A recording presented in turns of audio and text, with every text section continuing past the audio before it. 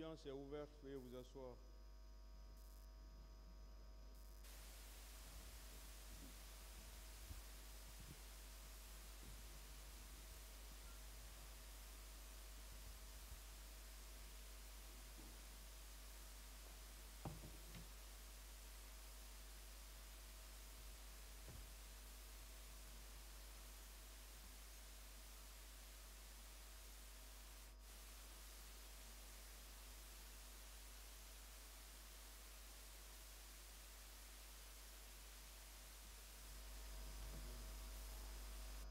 Ministère public contre M. C.C. Raphaël Ava, M. Alpha Amadou Baldé, M. Marcel Guilavogui, M. Claude Pivi, M. Moussa Tchegoro Kamara, M. Ibrahim Kamara Di Kalonzo, M. Aboubakar Diakité Di Toumba, M. Blaise Goumou, M. Moussa Dadis Kamara, M. Mamadou Ali Keita, M. Abdoulaye Chérif Diaby, M. Paul Mansa Guilavogui.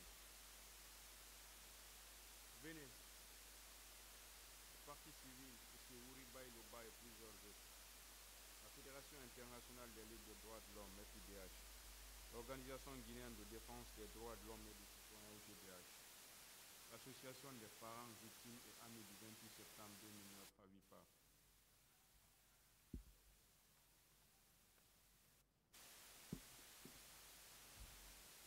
On va continuer avec euh, M. Moussa Dadis Kamara travers toujours ses conseils. Maître Jean-Baptiste Abba.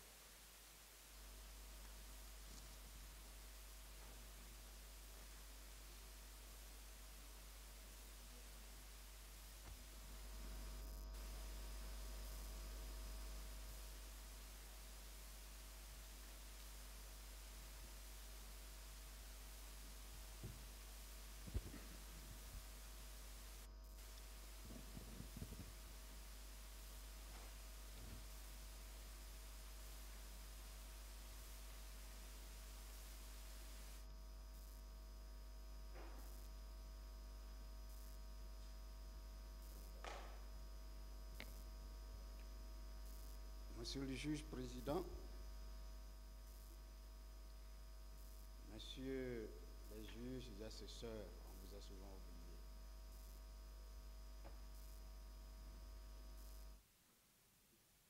Ce matin, je voudrais m'adresser à vous. Je voudrais m'adresser au magistrat que vous êtes.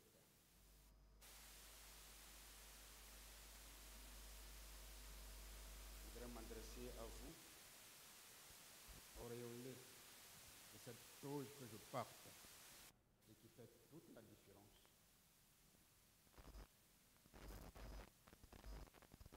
Je voudrais m'adresser à vous, auréolé également de vos robes.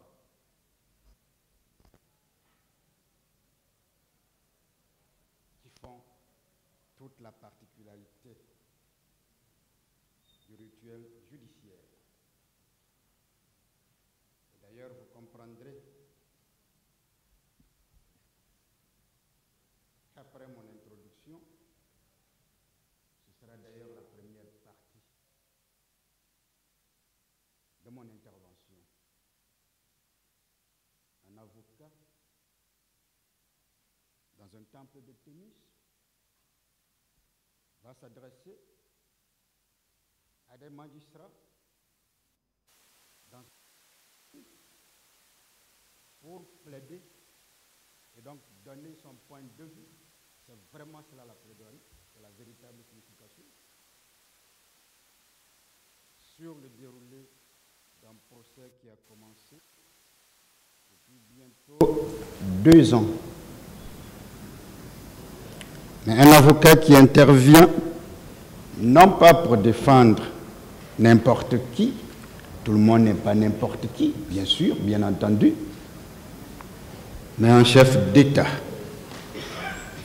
un président, si vous voulez, un ancien chef d'État, un ancien président, celui-là qui, à un moment donné de l'histoire de notre pays, la Guinée, a occupé la plus haute fonction régalienne de l'État. Mais, Monsieur le juge président, Monsieur les juges assesseurs, je ne sais pas si c'est une marque de confiance ou alors si c'est un piège qui m'a été tendu par les talentueux confrères Almami Samori Traoré, Pépé Antoine Lama, la bâtonnière Antoinette Ouidraogo, qui m'ont précédé, ainsi que le président Dadis lui-même, afin que je sois le dernier, mais le dernier, le tout dernier, à clôturer les plaidoiries concernant la défense d'un homme d'État.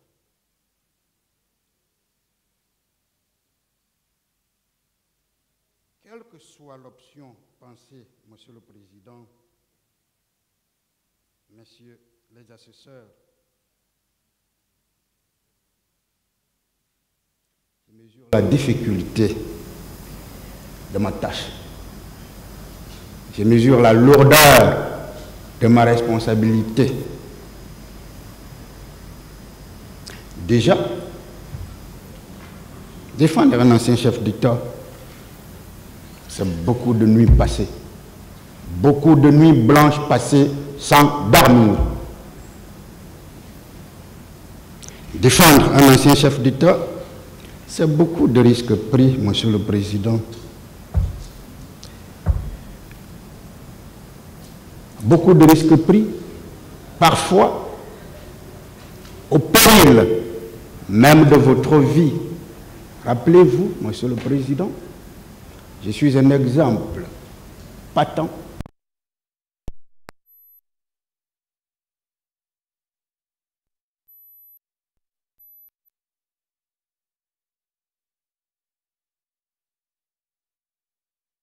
j'ai été l'objet d'une tentative d'assassinat à cause de cet homme que je défends ce matin, pour lequel je suis ici.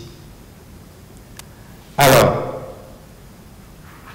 Dieu existant, je suis ici devant vous et je vis depuis plus de neuf ans, depuis 2015.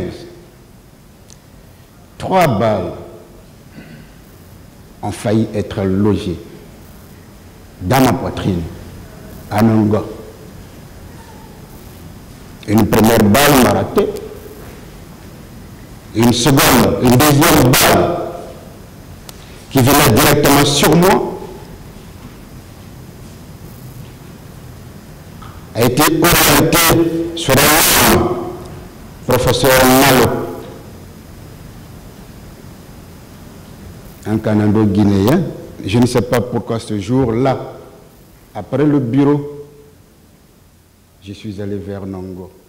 Parce que je suis un casanier. Vous ne me verrez jamais dehors. Il a donc pris la deuxième balle à l'épaule. Et la troisième balle m'a effleuré la jambe quand je tombais. Je veux profiter pour dire à l'époque merci au procureur général Monjour qui avait pris ses responsabilités en main. Lui et le bâtonnier Mohamed Traoré qui avait également pris ses responsabilités en main et qui m'ont envoyé vers le général Baldé qui à l'époque avait voulu me faire garder par cinq corps habillés et je lui ai dit non. Je me sens très bien. J'ai plutôt quitté le pays pour trois mois avec toute la famille. Ça veut dire que quand on défend un ancien chef d'État, on est exposé. On est exposé à tous les risques. On est exposé même quand on est arrêté en train de plaider, parce qu'on ne sait jamais ceux-là qui lui en veulent, parce qu'on ne sait jamais ceux-là qui cherchent à lui régler des comptes. Et si on ne peut l'avoir, on va chercher à toucher ceux censés lui apporter leur aide. Je disais que défendre un chef d'État vous éloigne, vous éloigne également de votre famille. La preuve, depuis une semaine, ben, je suis à l'hôtel, ici à Kaloum, ben, alors que chez moi est plus espacieux que là où je me trouve.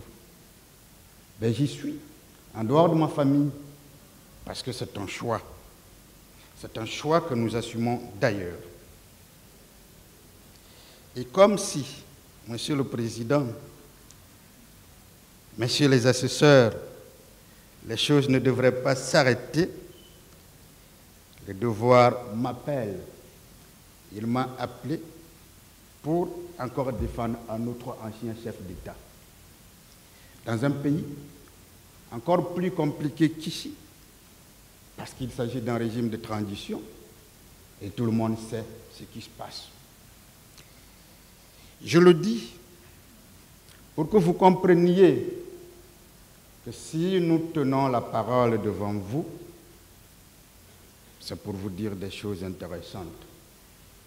C'est pour vous dire des choses que vous devrez écouter, parce que sans votre attention, sans votre écoute, sans vos oreilles totalement tendues et vos regards qui nous permettent de savoir que ce que nous disons vous plaise ou pas, qui nous permettent également de changer la stratégie de nos propos, la technique que nous employons, nous ne ferons rien.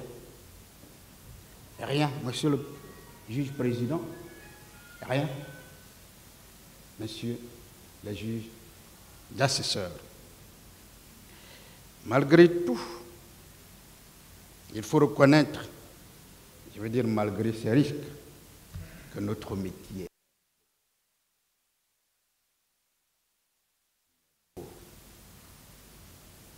une beauté à la fois intérieure et extérieure. Notre métier est beau dans tous ses aspects. Parce que quelqu'un a dit que si vous voulez vivre, si vous voulez être heureux un jour, mariez-vous. Si vous voulez être heureux deux jours, Prenez une bière, Monsieur le Président, Messieurs les juges assesseurs. Mais si vous voulez être heureux toute votre vie, devenez avocat. Parce que c'est le plus bel état du monde. C'est le plus bel état de la vie. Et vous le saurez, vous le comprendrez, plus nous allons avancer. Notre métier, parce qu'il est justement beau, il s'exerce sans limitation territoriale. La dans cette salle, vous l'avez bien compris, Monsieur le juge président, Messieurs les juges assesseurs, nous avions parmi nous, nous avons parmi nous, je n'ai pas le droit de conjuguer au passé, le procès continu, des confrères ivoiriens. Idrissa Traoré, je vais parler de lui,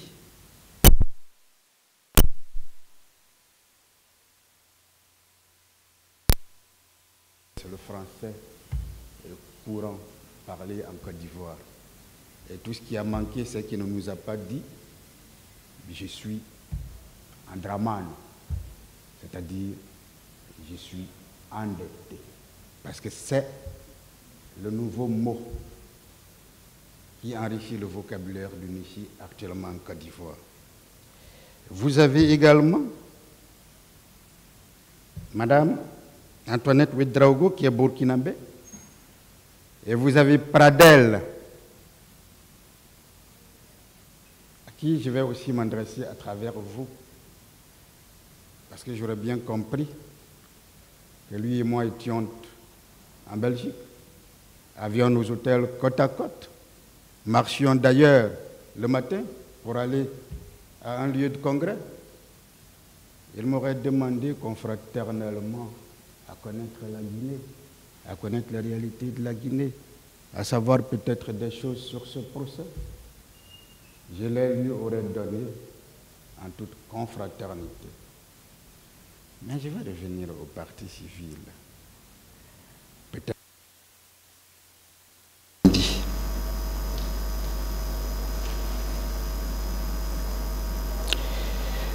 Chers confrères de la défense du président Dadis, Monsieur le Président, soyez sûr et certain que loin, très loin d'un piège monté, je considère votre choix comme une véritable marque de confiance. Une véritable marque de confiance que vous avez bien voulu me faire en me choisissant de clôturer nos plaidoiries. Vous pouvez donc aussi être sûr et certain que je ne ménagerai aucun effort pour mériter cette confiance. Je ne vous décevrai pas. Chers confrères, je sais d'ailleurs que cela importe peu, car je ne suis pas convaincu que ce qui compte pour vous est votre déception.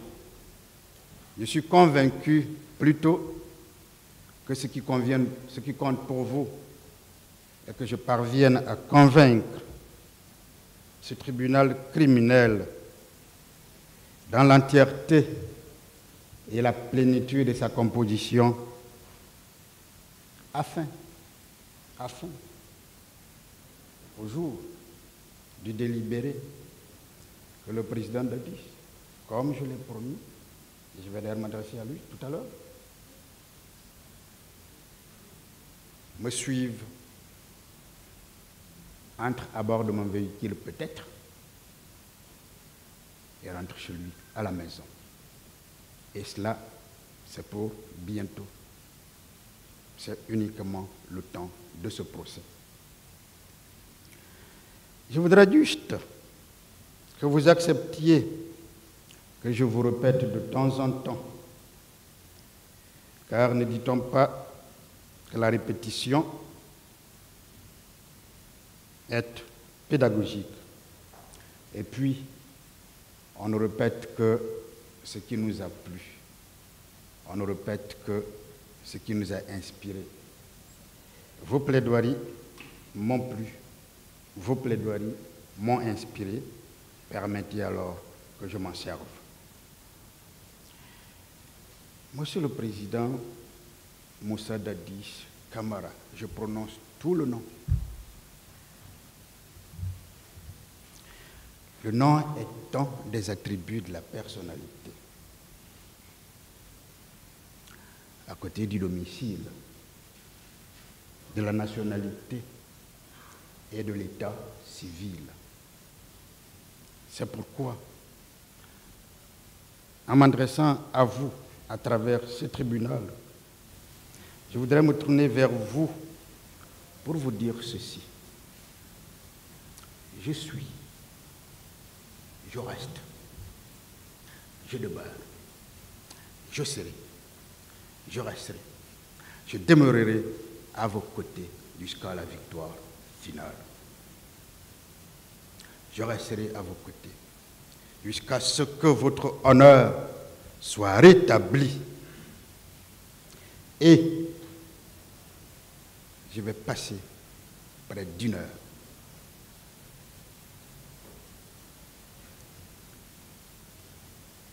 pendant la deuxième partie de mon intervention, puisque la première partie va s'adresser au tribunal.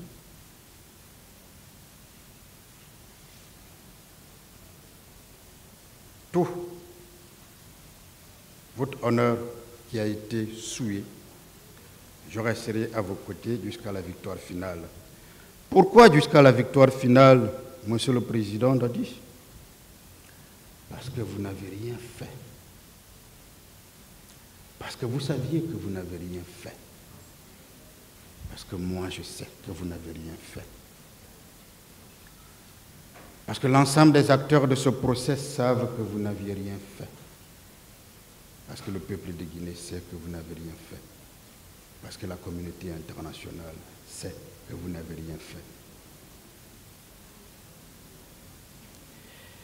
Mais vous allez me permettre de révéler aujourd'hui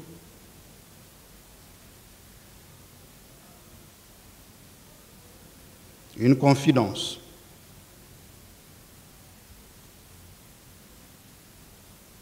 Je vous l'avais dit, je vous l'avais promis dans notre première rencontre, je suis là.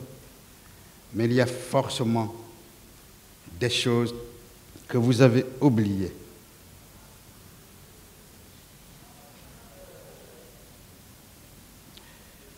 Monsieur le Président de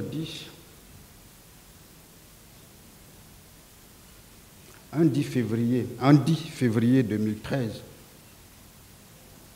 tard dans la nuit, j'ai reçu un coup de fil.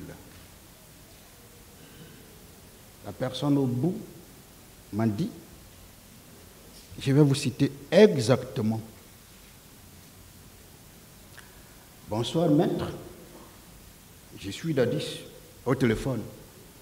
Je vais vous confier ma défense et celle de ma famille. Nous sommes le 10 février 2013. J'étais très étonné parce que j'étais encore un jeune avocat. Tellement étonné que je me suis dit, mais pourquoi quelqu'un que je ne connais pas Pourquoi un ancien chef d'État m'appellerait la nuit pour non pas uniquement me confier sa défense, mais me confier même la défense de sa famille? Dans mon étonnement, je vous ai dit, je vous ai demandé si vous étiez vraiment l'ancien président guinéen. Parce que votre modestie vous a empêché de vous présenter ainsi. Vous auriez dû dire, bonjour maître, c'est l'ancien président. J'aurais tout de suite compris. Mais tellement votre modestie ne pouvait vous le permettre, vous n'avez pas pu. C'est donc répondant à ma question et sans attendre que vous avez simplement dit oui. Et toujours dans mon étonnement, parce que c'était la première fois que nous parlions, je vous ai demandé comment aviez-vous eu mon numéro.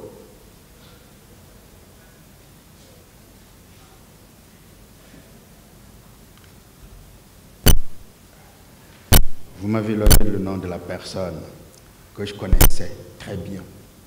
Parce que j'étais non seulement l'avocat de cette personne, mais j'étais également l'avocat de la famille de cette personne.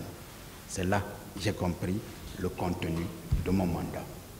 Vous défendre et défendre votre famille. Je ne dirai pas le nom de cette personne parce que je ne l'ai pas consulté. Ma réaction, toujours dans mon étonnement, a été de vous dire, de me rappeler le lendemain à 9h, puisqu'il tard. Chose promise, chose due. À 9h, donc le 11 février, vous m'avez rappelé et je vous ai donné mon accord de principe. À l'occasion, je vous ai demandé de m'écrire pour formaliser. J'ai été surpris qu'en toute humilité, vous me disiez, maître, je n'ai jamais fait un tel document. Je ne connais même pas la justice. Je n'ai jamais contacté un avocat. Préparez-moi vous-même un document. Ce que j'ai fait le même jour. Et je vous ai proposé, vous avez choisi que le document soit signé tel qu'il a été fait par mes soins. Et vous avez choisi que ce document soit signé à Ouagadougou. Et vous êtes donc engagé le même jour à me trouver un billet d'avion. Trois jours après, je vous ai trouvé à Ouagadougou, le 14 février 2013. Je n'oublie pas cette date. Vous savez, parce que le 14 février, c'est la Saint-Valentin. C'est la fête des amoureux.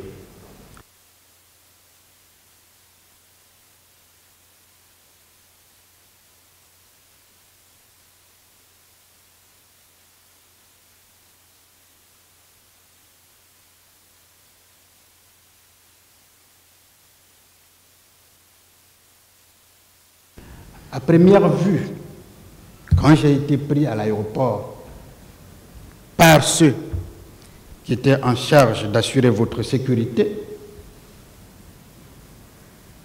et quand je suis allé chez vous, j'ai été marqué par la simplicité de l'homme que vous êtes. Mais je me suis bien demandé, est-ce que c'est l'homme que j'avais l'habitude de voir à la télé? Est-ce que c'est vraiment cet homme d'autorité? Ce mot n'est pas de moi, c'est d'un témoin de l'accusation, Thibou Kamara. Est-ce que c'est cet homme vivant et viable que je vois? Tout simple. Après quelques échanges avec vous, j'ai été plus marqué par le sens élevé de l'honneur et de la justice de l'homme que vous êtes.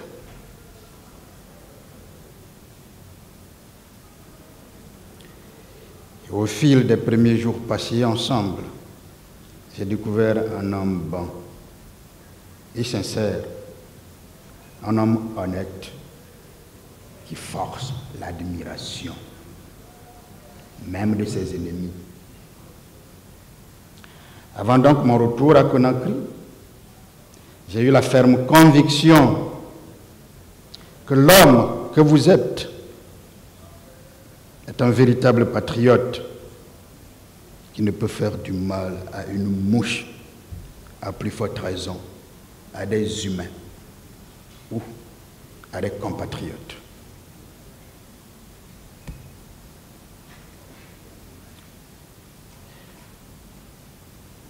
Monsieur le Président d'Addis, puisqu'à travers le tribunal je m'adresse pour le moment à vous, comprenez que vous n'êtes pas parfait.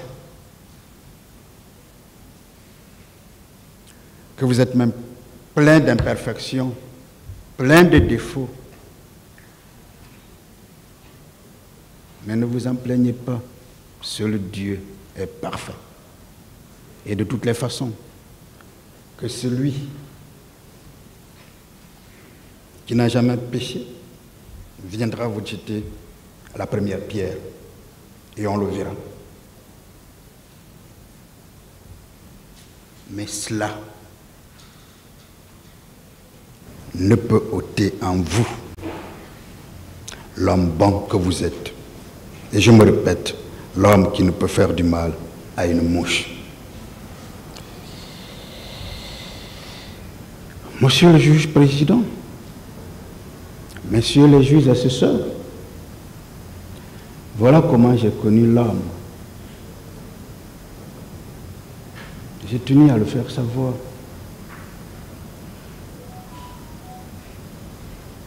Dans ses plaidoiries, comme Bemba a tenu à le faire dans ses plaidoiries quand il défendait Klaus Barbie. Je parlerai d'ailleurs de Klaus Barbie pour répondre à toute cette litanie de jurisprudence invoqués par le parquet qui n'ont absolument rien à voir avec un crime contre l'humanité, mais qui ont plus au crime de guerre,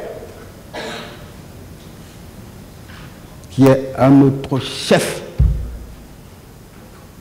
de compétence de la Cour pénale internationale, à côté des crimes de génocide et des crimes d'agression, puisqu'il y en a quatre chefs de compétence de la CPI. Mais je vais revenir là-dessus plus loin, et ce sera peut-être dans l'après-midi.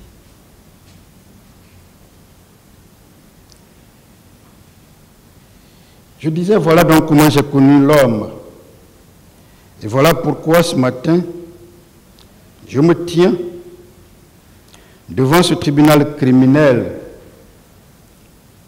dans l'entièreté et la plénitude de sa composition.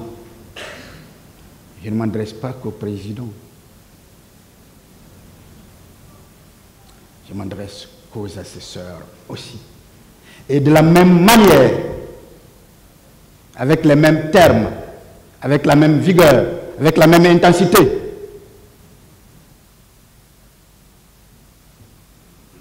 Je m'adresse donc à cette composition en vous disant que le président Dodiche m'a confié une inquiétude. Il m'a confié une inquiétude.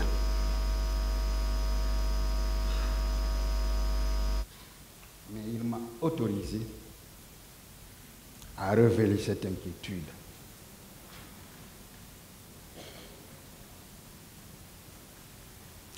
C'est vrai, il a confiance en vous. Pas uniquement en vous qu'il voit.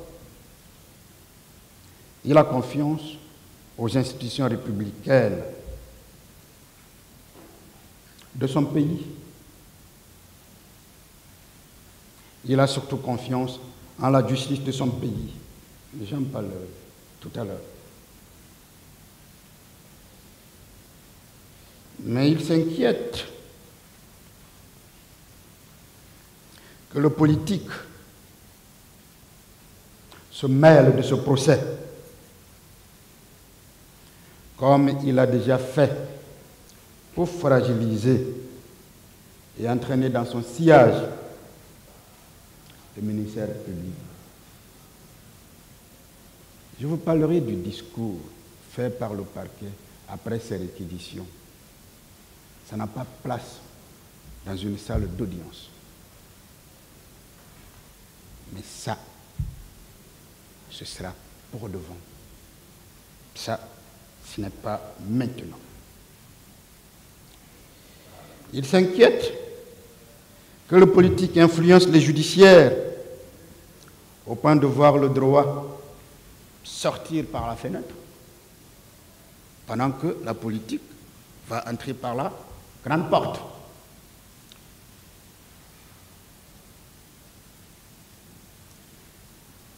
Mais je l'ai rassuré, rassurez-vous, cher juge président, cher juge assesseur. Je l'ai rassuré parce que j'ai confiance en vous. Et c'est pourquoi je lui ai dit que si les avocats et les magistrats prêtent serment, si les avocats et les magistrats Vous l'avez éteint.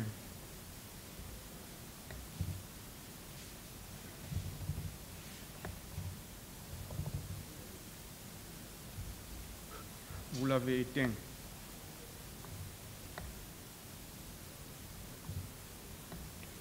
Technicien. Allez-y maintenant. C'est pourquoi je lui ai dit que si les avocats que nous sommes et les magistrats que vous êtes prêtent serment avant d'exercer leur sacerdoce, s'ils revêtent le costume de leur profession avant de venir à une audience, cela a une réelle signification qui ne doit permettre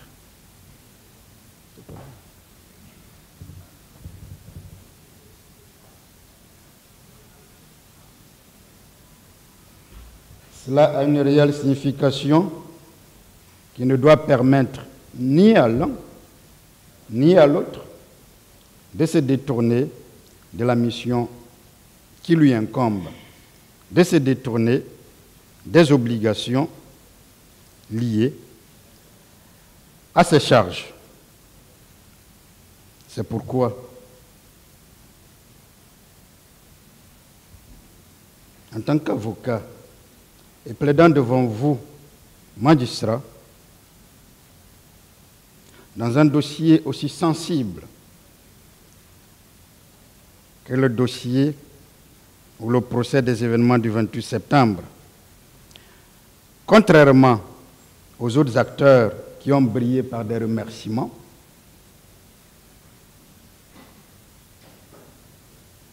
je voudrais, puisque moi je ne remercierai personne,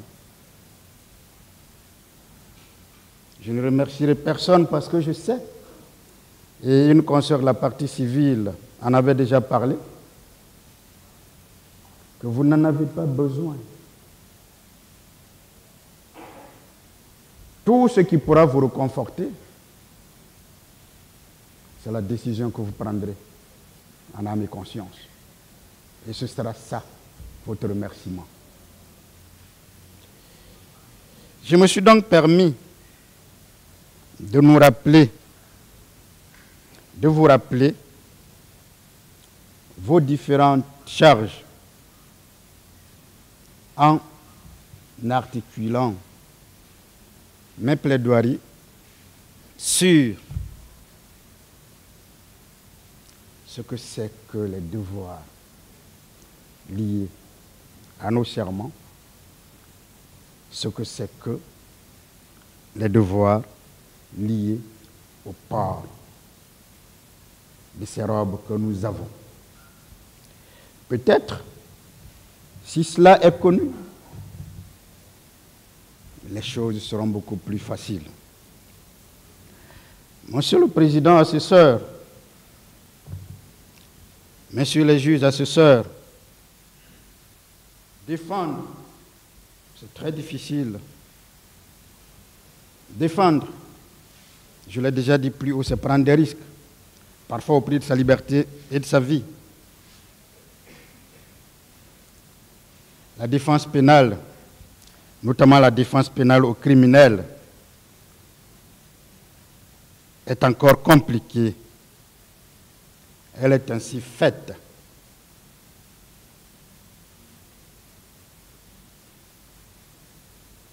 La défense, c'est un peu comme les arts martiaux pour ceux qui l'ont fait.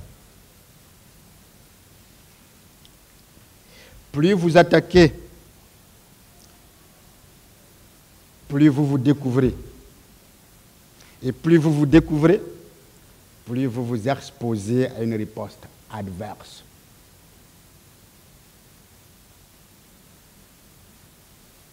Voilà le parallèle. La défense pénale. Vous le comprendrez aisément parce que lorsque la partie civile a fini, après avoir attaqué comme elle a voulu, le parquet a tenu parole pour ses réquisitions, a aussi attaqué. Nous revenons parce que le parquet s'est fait découvrir, parce que la partie civile s'est fait découvrir, et ils se sont exposés à une riposte adverse, donc de la défense.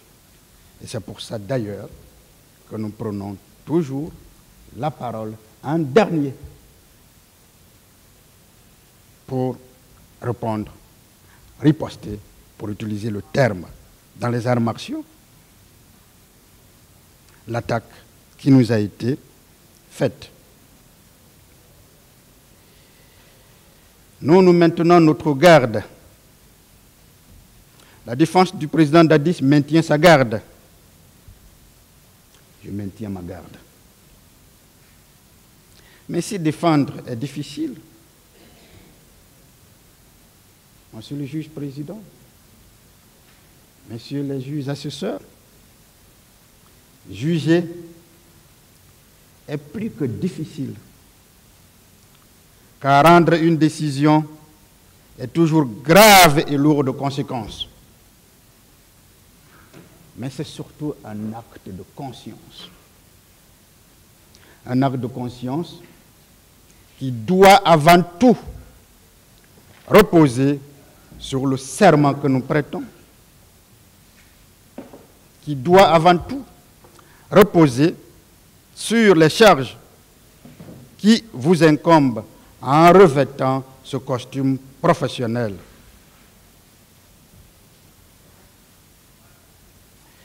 La notion de serment, Monsieur le juge président, Messieurs les juges assesseurs, signifie d'abord rendre sacré un engagement. Quand on lève la main droite pour prêter serment, on s'engage. Et cet engagement est sacré. Le serment correspond donc à une affirmation solennelle d'une personne en vue d'attester la vérité d'un fait, la sincérité d'une promesse, l'engagement de remplir les devoirs de sa charge. Alors, cette partie me tient beaucoup à cœur. L'engagement de bien remplir les devoirs de sa charge. Votre charge est de juger. Notre charge est de défendre. Nous allons faire notre travail. Nous allons vous laisser faire votre travail. Juger pour vous doit donc être un engagement. L'engagement de remplir les devoirs de votre charge. Monsieur le juge président, Monsieur le juge assesseur, tous les Guinéens ne prêtent pas serment. Mais les avocats prêtent serment. C'est pour ça que j'ai entendu certaines choses dans cette salle. Et je me suis vraiment demandé si ça venait d'avocats que nous sommes. Et les magistrats prêtent également serment. Cela revêt à la fois une importance capitale et un singularisme de la mission que nous exerçons, nous que l'on appelle gens de justice, nous que l'on appelle hommes de robe ou gens de robe. Certains diront que nous n'exerçons même pas un métier, mais que nous exerçons un sacerdoce. Je suis le plus convaincu, c'est peut-être la superstition. Monsieur le juge président, monsieur les juges assesseurs, juger pour moi, ce n'est pas un métier, et c'est une vertu. Et si je devrais avoir le temps pour y consacrer un livre, j'en ferai avec plaisir parce que là où vous êtes assis, juge que vous êtes, être juge ne devrait pas être considéré comme un métier, mais ça devrait être considéré comme une vertu et ça change tout. Je vous dirai pourquoi j'ai commencé par là. Parce que je vous rappelle encore que mon client m'a confié cette inquiétude. Et nous connaissons la pratique. Nous connaissons ce qui se passe. En général, naturellement.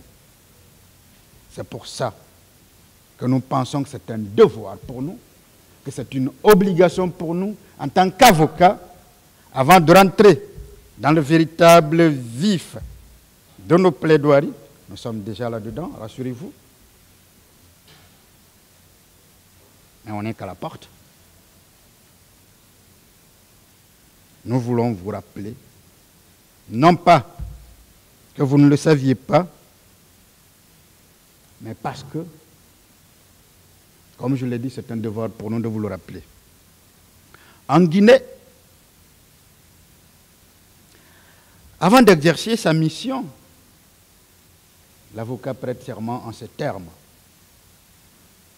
Je jure de remplir dignement et loyalement ma mission en veillant au respect strict des règles de mon ordre et de ne jamais m'écarter du respect dû aux cours et tribunaux. La formule en France est tellement simple que là on dit uniquement je jure en tant comme avocat d'exercer mes fonctions avec dignité, conscience, indépendance, probité et humanité. En Guinée donc aussi, avant d'entrer en fonction, le magistrat prête serment en ces termes. Je jure de bien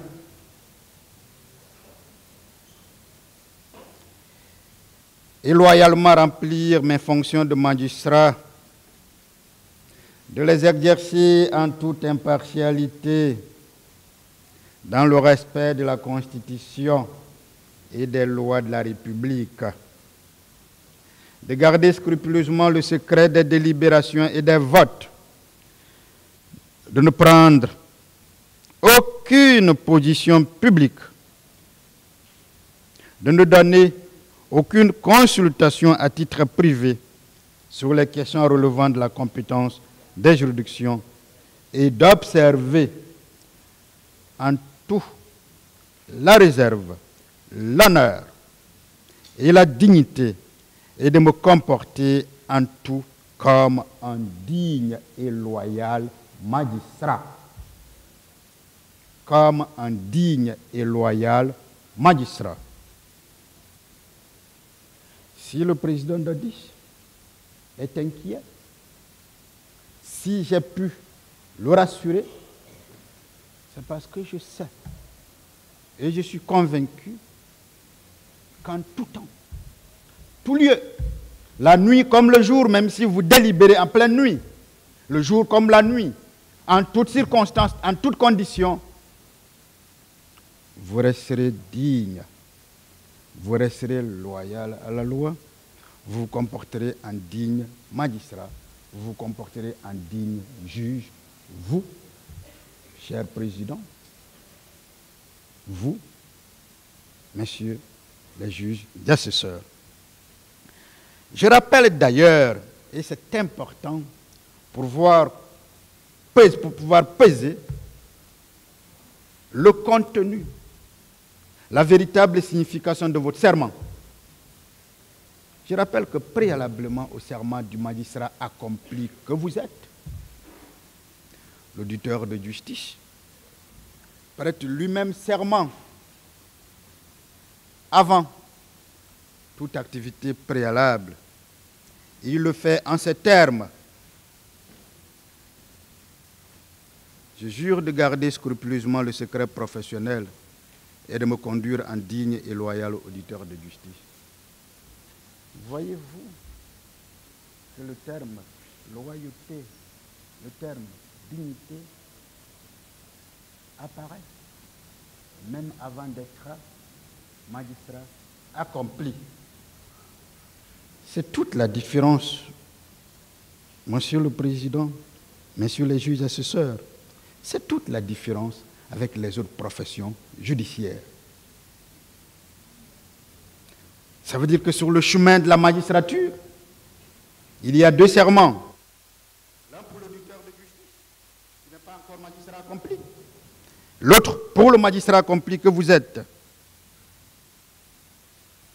Chez nous, avocats, ce n'est pas le cas. Nous avons un seul serment que nous prêtons à une audience solennelle de prestation de serment devant des juges que vous êtes, généralement devant les juges de la Cour d'appel, en présence du procureur général. Ces serments qui nous gouvernent, nous, gens de justice, nous, hommes de robe, ne sont pas tout simplement protocolaires. Le serment du magistrat n'est pas protocolaire. Le serment de l'avocat n'est pas protocolaire. Ils ont un sens, une véritable signification et entraînent une lourde responsabilité. La meilleure injure au monde qu'on puisse faire à une personne, Monsieur le Président, Messieurs les assesseurs, c'est lui dire qu'elle n'est pas responsable. Parce que la responsabilité, c'est notre obligation d'assumer nos erreurs, nos fautes, nos imperfections, nos indélicatesses.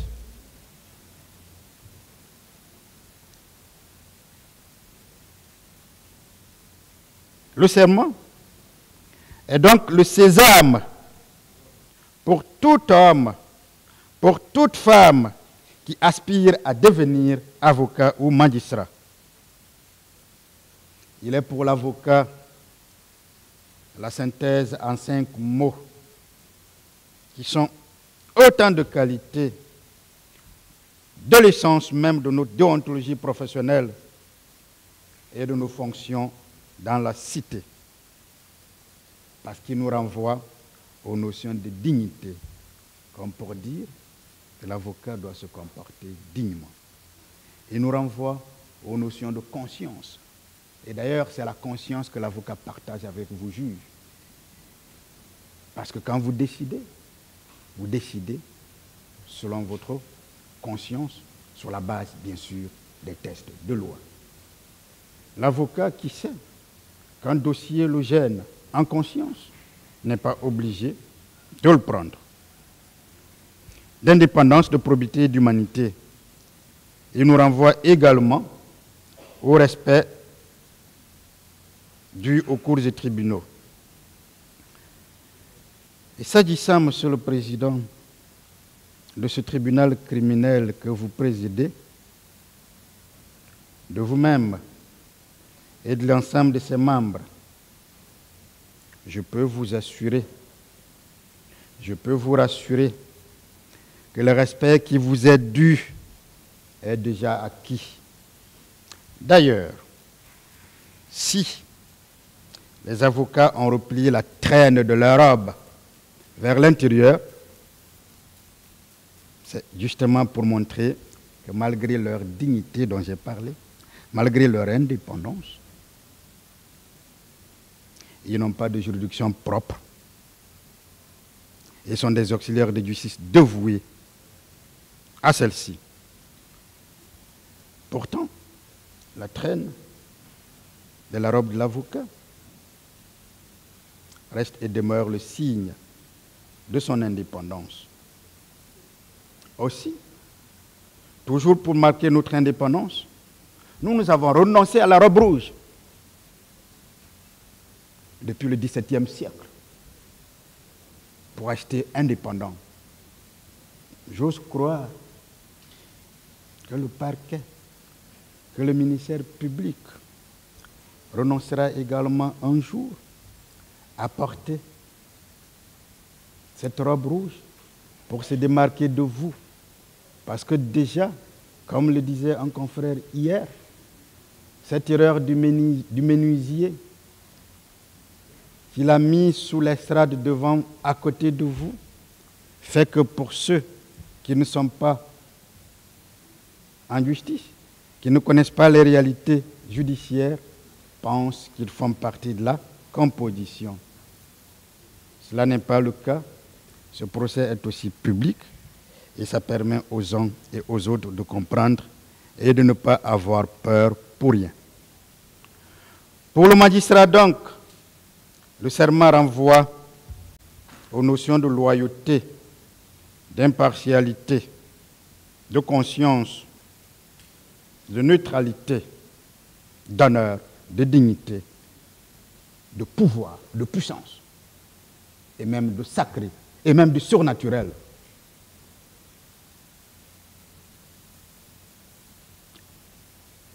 C'est pourquoi, de manière constante, vous devrez vous rappeler votre serment, car l'action de juger, je l'ai dit, confère au juge une puissance, la puissance de Dieu, un pouvoir, le pouvoir de Dieu. Il approche de Dieu, mais vous n'êtes pas Dieu.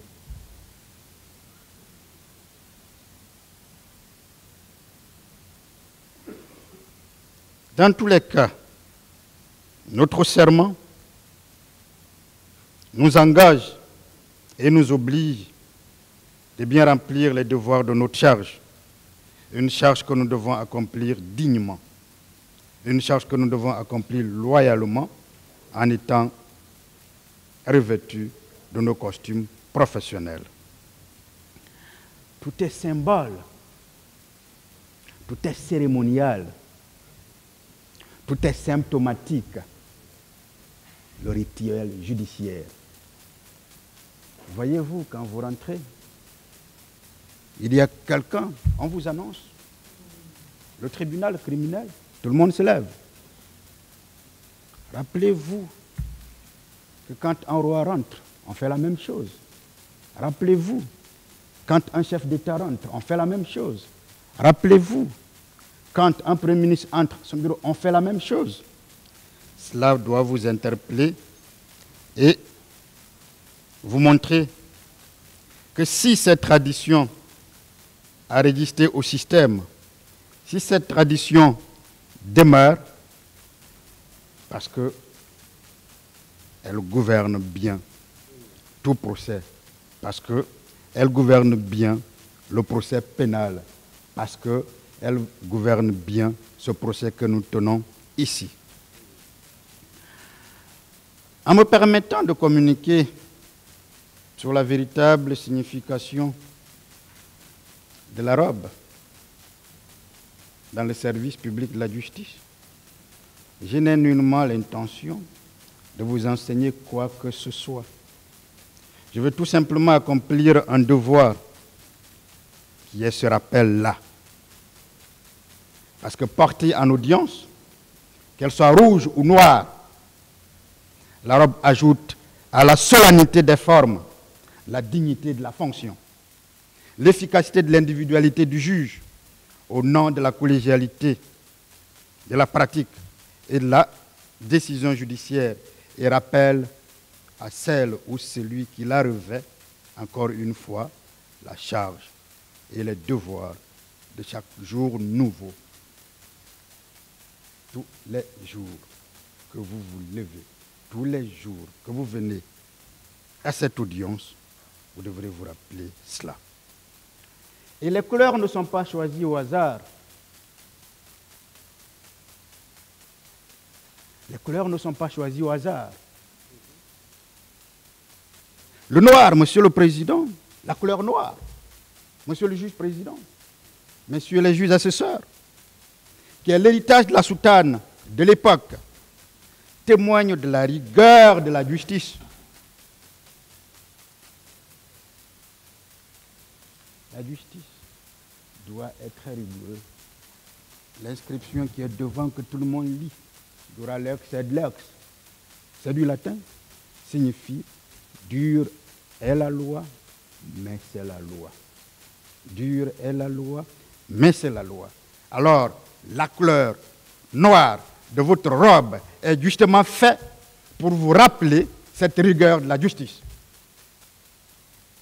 C'est pourquoi, quand on est rigoureux, on ne se laisse pas influencer. Vous ne devrez pas vous laisser influencer. C'est pourquoi j'ai consacré une partie de mes plaidoiries pour le président Dadis à cela. La couleur blanche, ce n'est pas aussi un hasard. Et qui est d'ailleurs visible sur le rabat, qui est visible sur la pitose que vous portez sur vos épaules, que nous portons sur nos épaules, est symbole d'espoir. Si le noir, c'est la rigueur, la couleur blanche est le symbole de l'espoir. L'espoir, Monsieur le Président, l'espoir, Messieurs les assesseurs, fait vivre, fait revivre l'espoir.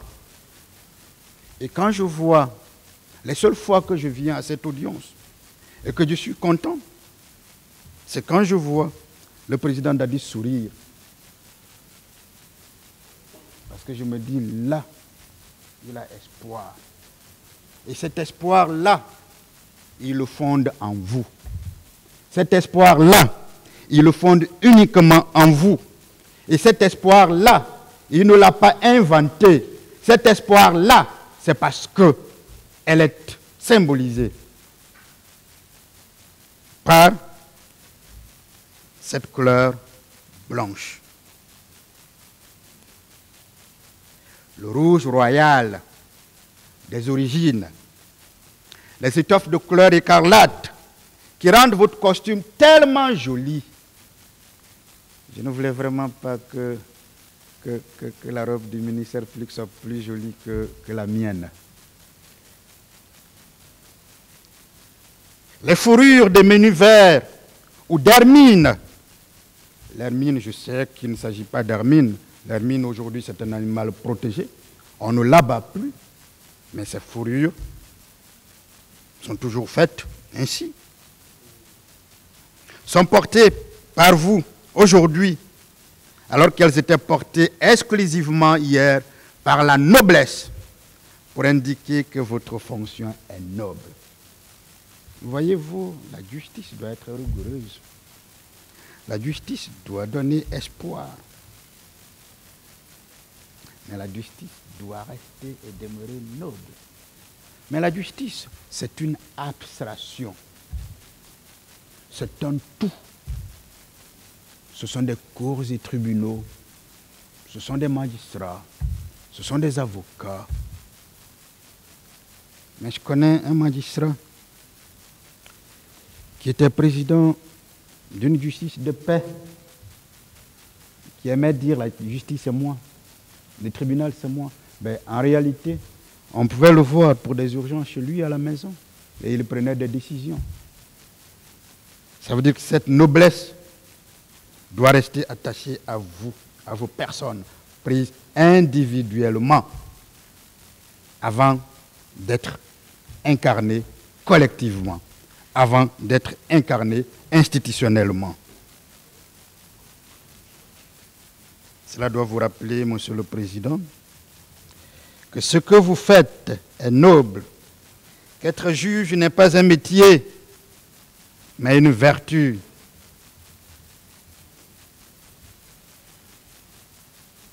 Pendant de longs millénaires, le rouge a été en Occident la seule couleur digne de ce nom. La seule véritable couleur, tant sur le plan chronologique que sur le plan hiérarchique. Il a dévancé toutes les, autres.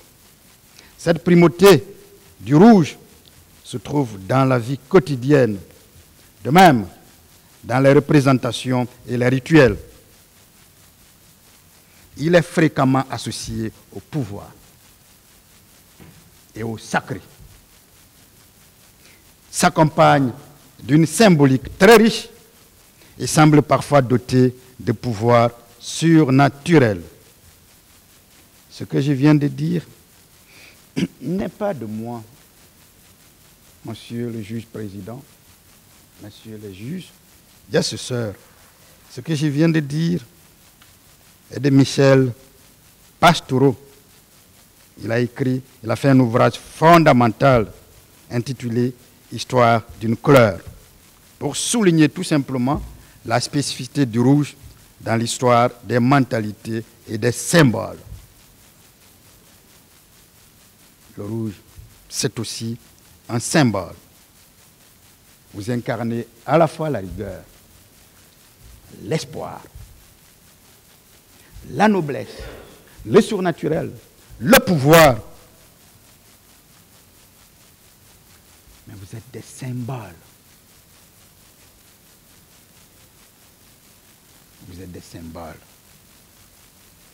Et vous devrez vous comporter comme tel pour éviter que l'inquiétude du président Moussa Dadis Kamara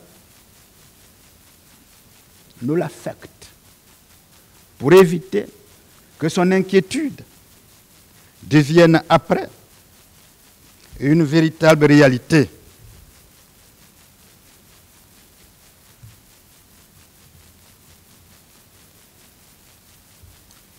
D'ailleurs, dans l'ancienne France, l'habit des magistrats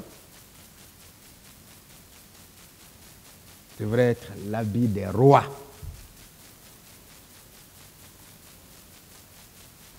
L'habit des magistrats devrait être l'habit des rois. Le rabat que nous appelons encore bavoir, et c'est pour ça que certains jusque-là continuent d'appeler les avocats les baveux. Quand on dit un avocat est baveux, ce n'est pas une injure, parce qu'il porte des rabats. C'est-à-dire cette large cravate, plastron, que nous portons tous, signifie le livre de la connaissance. Alors, monsieur le juge président, monsieur les juges assesseurs, par votre position aujourd'hui, par ces rabats que vous portez, qui ont la couleur blanche pour symboliser l'espoir, vous êtes dépositaire de toute connaissance. C'est pour ça que c'est votre vérité, la vérité que vous rendrez, qu'on va appeler la vérité judiciaire. C'est celle-là passera. Ce n'est pas ce que je vous dis. Ce n'est pas ce que le parquet vous a dit. Ce n'est pas ce que les partis civils vous ont dit. Ce n'est pas ce que les autres de la défense vous ont dit. C'est d'ailleurs une convention. On a voulu que ce soit vous. On s'est entendu. Et quand vous rendrez une décision qui ne nous plaise pas, nous n'aurons le choix que d'exercer des voies de recours pour marquer notre, accord, notre désaccord. Désaccord parce que le droit n'a pas été bien dit, ce qui n'enlève pas le fait que vous restez, vous, la bouche du droit. L'épitose, même si nous continuons à le porter, qui est cette bande d'étoffes garnie d'hermine.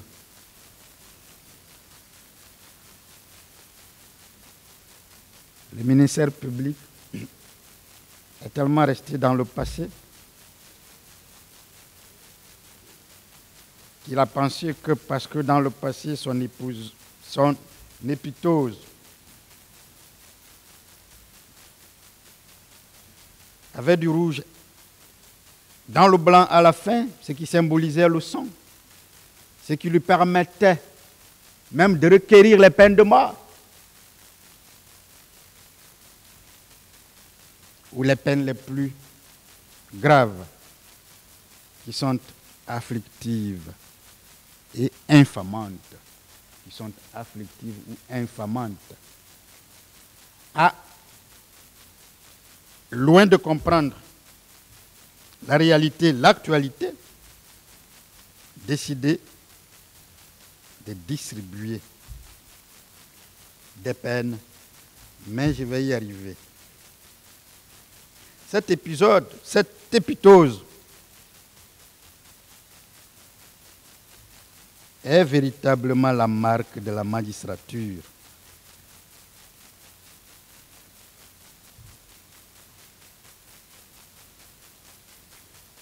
Voyez-vous donc, Monsieur le Président,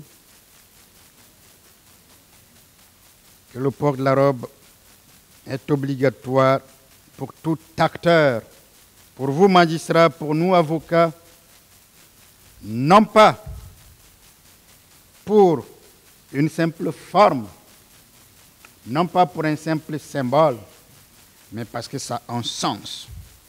Et justement, les expressions rigueur, espoir, beauté, noblesse, pouvoir, pouvoir surnaturel, sacré, royauté, qui caractérisent la justice, qui la rendent particulière, qui la rendent respectable, est aujourd'hui incarnée par vous. Et comme je vous l'ai dit, le président Dadis fonde tout espoir sur vous. Et cet espoir qu'il fonde en vous, il ne l'a pas inventé, il ne l'invente pas, parce qu'un des symboles que vous aviez, qui est la couleur blanche, lui fait vivre cet espoir-là.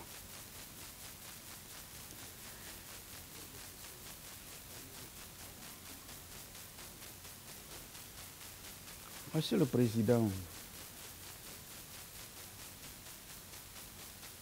un pays peut fonctionner sans aucun pouvoir législatif. Vous savez, il y a trois pouvoirs. Le pouvoir législatif, qui est incarné par le Parlement ou l'Assemblée. Quand on a une chambre qui ne compose que d'une assemblée.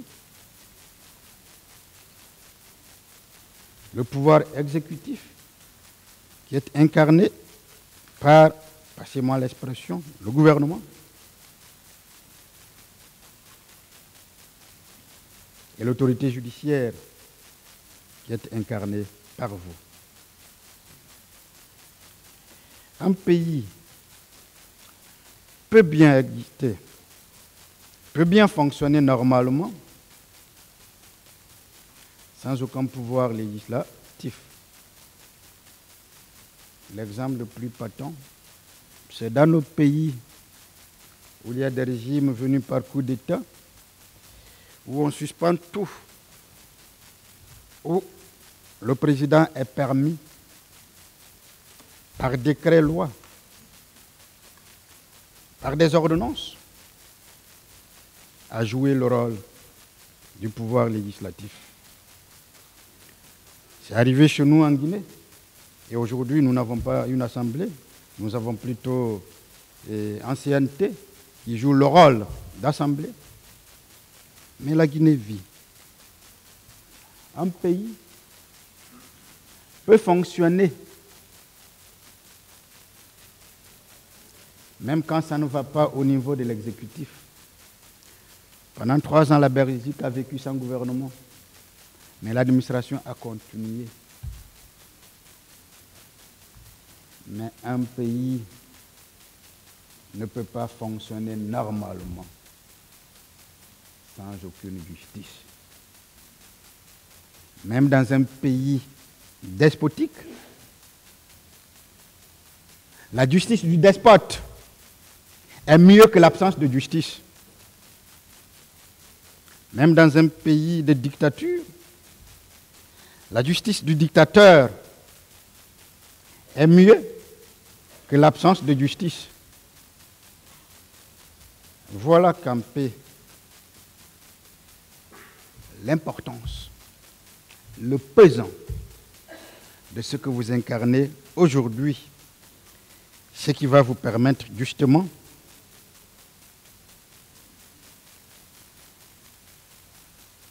de juger ces hauts commis de l'État qui sont aujourd'hui renvoyés devant vous. C'est en étant auréolé et vêtu de ma toge que je me tiens devant vous, vêtu et auréolé également de vos robes. Depuis presque une heure, pour plaider cette affaire. C'est en étant convaincu que votre serment dont j'ai parlé, que les charges liées au port de votre robe que vous portez dont j'ai parlé, c'est en étant convaincu que ces éléments seront la bréviaire qui doit vous guider vers le respect de la loi, la seule autorité à laquelle vous êtes soumis, que je vais donc me tenir devant vous, devant la plénitude et l'entièreté de la composition de cette juridiction, pour défendre l'honneur d'un homme, pour défendre l'honneur d'un militaire, pour défendre l'honneur d'un ancien chef d'État, pour défendre l'honneur d'une victime, pour défendre l'honneur d'un miraculé, pour défendre l'honneur d'un exilé, pour défendre l'honneur d'un homme écarté du pouvoir, pour défendre l'honneur d'un témoin, pour défendre l'honneur d'un témoin devenu, pour des raisons politiques, inculpé, devenu, pour des raisons politiques, accusé, obligé de se défendre devant vous. C'est auréolé justement de cette robe que je vais me tenir devant vous pour défendre un républicain, l'honneur d'un républicain, l'honneur d'un patriote et l'honneur d'un prisonnier, que je vais même appeler prisonnier politique depuis plus de, depuis près de 14 ans. Alors, Monsieur le juge président, Messieurs les juges assesseurs, j'ai commencé par vous dire que je me tiens devant vous pour défendre l'honneur d'un homme, un homme ordinaire au destin singulier. L'honneur, c'est la conscience, mais la conscience exaltée. C'est le respect de soi-même et de la beauté de sa vie, porté jusqu'à la pure élévation et jusqu'à la passion la plus ardente. Ce n'est pas de moi, c'est d'Alfred Vigny, la servitude des grandeurs militaires.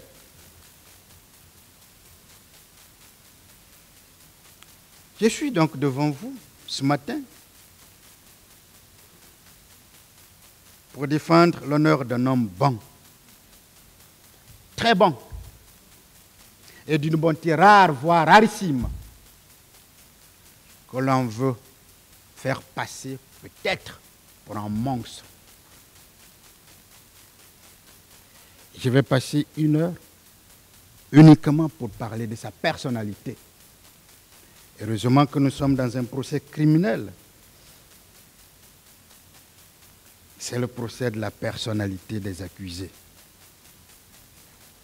Je vais parler du président Moussa Dadis Kamara. Je vais défendre l'honneur d'un homme généreux, d'un homme d'une exceptionnelle humanité d'un homme honnête, très honnête, d'un homme sincère, très sincère, d'un homme d'une probité morale et d'un sens de l'honneur et de la justice, d'un homme avec plein de vertus reconnues unanimement par ceux qui l'ont côtoyé, par ceux qui l'ont connu.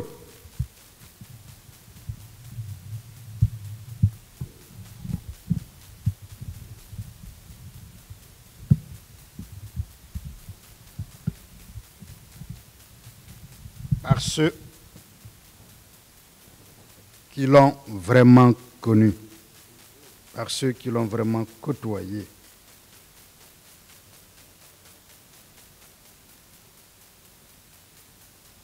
Un honneur qui a été sali et mis dans la boue.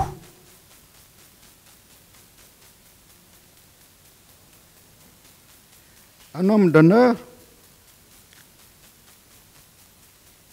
Le président Dadis est un homme d'honneur.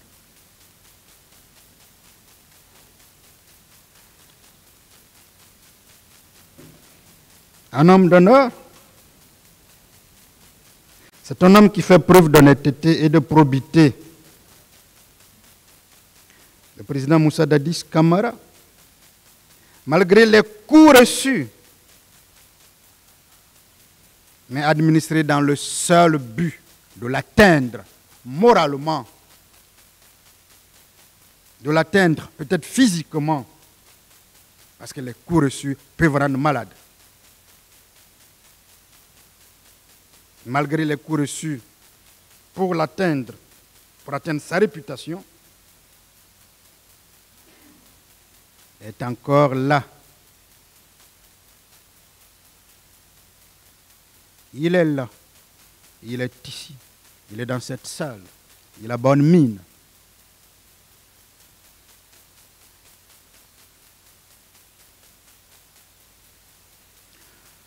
Vous vous souviendrez, Monsieur le Président, Messieurs les assesseurs, que s'adressant à lui, un conseil des partis civils a même parlé, évoqué dans cette salle de déshonneur. Voilà pourquoi je vais faire plus d'une heure pour parler uniquement de l'honneur d'un homme. On a parlé de déshonneur, motif tiré de ce qu'il est en détention. Je veux vous rappeler quelque chose, Monsieur le Président. Dès le début, je vous ai dit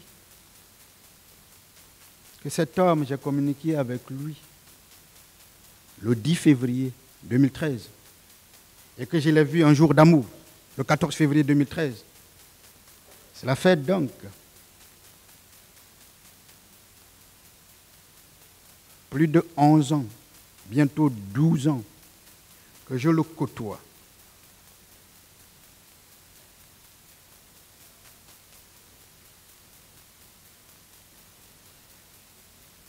Cela fait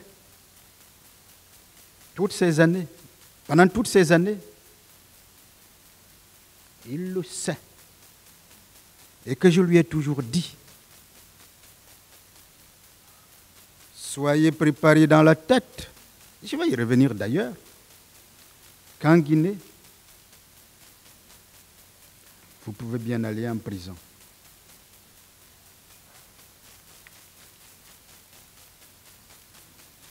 Mais cela ne l'a jamais empêché de crier Oh, quand il est fâché, de s'adresser à toutes les autorités. Je vous trouverai des documents que personnellement j'ai écrits au juge.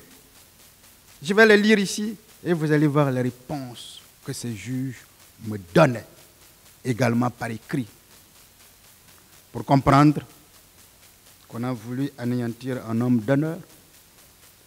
Depuis, c'est pour ça que j'ai commencé par dire je défends un homme, après je défendrai un militaire, après je défendrai l'honneur d'un ancien chef d'État, après je défendrai l'honneur d'une victime, après je défendrai l'honneur d'un exilé, après je défendrai l'honneur d'un miraculeux, après je défendrai l'honneur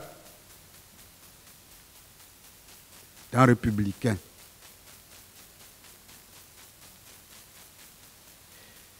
Je rappelle que quand on parle de déshonneur, parce qu'il est en détention, que quand il est arrivé à Conakry et qu'il est allé se constituer prisonnier, quand ses co-accusés discutaient, il était le premier à embarquer à bord de ce véhicule sur lequel était marqué procès des événements du 28 septembre.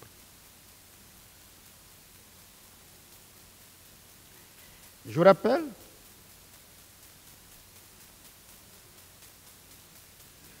que même si sa détention n'est pas utile, et je vais vous en parler, parce qu'on ne parle que de détention nécessaire, la détention du président Dadis n'est pas utile.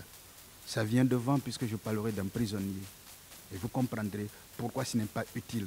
Vous comprendrez pourquoi la justice guinéenne est passée à côté. Vous comprendrez pourquoi la justice guinéenne n'a pas donné le bon exemple aux autres États. Vous comprendrez qu'à cause de sa détention, d'anciens chefs d'État refusent de rentrer dans leur pays. Parce que tout simplement, Ils ont peur d'être détenus. Parce que ceux qui s'engagent sur cette voie-là sont humiliés, sont déshonorés. Parce que le président Dadis a été déshonoré. Parce que le président Dadis a été sali. Parce que le président Dadis a été mis dans la boue. Parce que le président Dadis a vu son honneur suer. Mais je vais vous rappeler que sa détention, bien que n'étant pas utile, est honorable pour l'image du pays. Je reviendrai là-dessus. Il n'est pas le seul dirigeant à être emprisonné, à être détenu. Peut-être, et c'est là la certitude, qu'il est le seul dirigeant à être embastillé. Et je pèse mes mots au vu de ces conditions carcérales et des traitements dont il a été victime, comme une supplice, une potence, une bagne, alors même qu'il n'est pas encore condamné. Je rappelle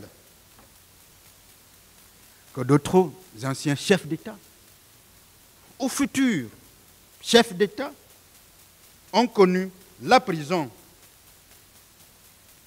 je ne vais pas aller loin, je vais commencer par notre pays. Le président Alpha Condé a connu la prison avant d'être au perchoir, avant d'être au plus haut niveau à la maison centrale de Conakry, à l'hôtel 5 étoiles, où on reçoit les gens sans titre de détention, mais simplement par un courrier fait par un procureur qui nous a pourtant dit ici qu'il ne contrôlait même pas la maison centrale. Je vais y arriver d'ailleurs. Le président Alpha Condé y a fait presque trois ans. Lui, il a été d'ailleurs condamné. Et son environnement s'appelait Alpha Condéa.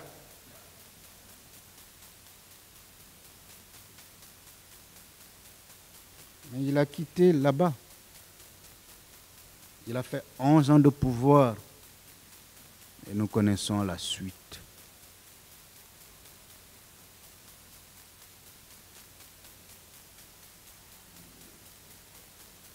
Nelson Mandela a fait 27 ans de prison. Cet avocat militant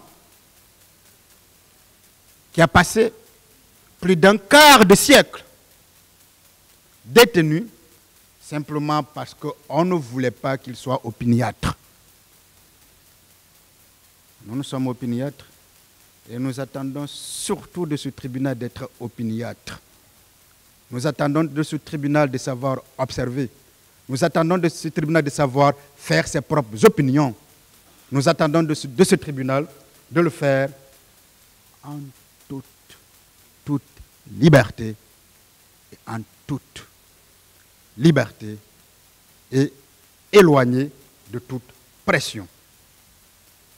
Ces pressions peuvent venir de tous les côtés et vous induire en erreur. Je vous parlerai d'ailleurs des causes de l'erreur judiciaire à la fin.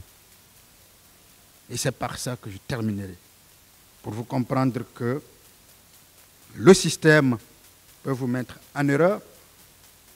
C'est la première cause. Pour, vous comprendre, pour que vous compreniez que les personnes peuvent vous induire en erreur. Et parmi ces personnes-là, il y en a qui ne sont pas gens de justice. Mais il y en a qui sont gens de justice, mais qui sont surtout dans cette salle. Et qui peuvent être tant les avocats des partis civils que les partis civils elles-mêmes, tant le parquet que même les avocats de la défense. Je vais même plus loin, que même les accusés pourraient vous induire en erreur. Mais ce sera la dernière partie de mes plaidoiries. Jacob Zuma, le président sud-africain ou l'ancien président sud-africain,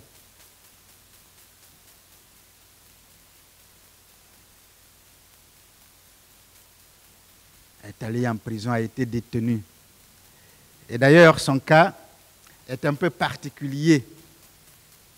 Il n'est pas allé pour l'affaire pour laquelle il était poursuivi, mais il y est allé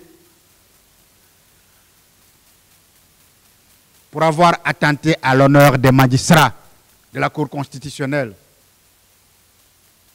Voyez-vous encore comment vous incarnez la noblesse? Un homme qui a été le premier magistrat de son pays est renvoyé derrière les barreaux, est emprisonné parce qu'on lui reproche de n'avoir pas respecté les magistrats qu'il a lui-même nommés la justice, c'est un monde singulier. La justice, c'est un monde particulier. Le magistrat, c'est un acteur judiciaire particulier. N'oubliez pas cela. N'oubliez jamais cela. Si vous passez à côté de cela, vous n'exercerez pas loyalement et en toute dignité votre mission vous n'assumerez pas vos responsabilités.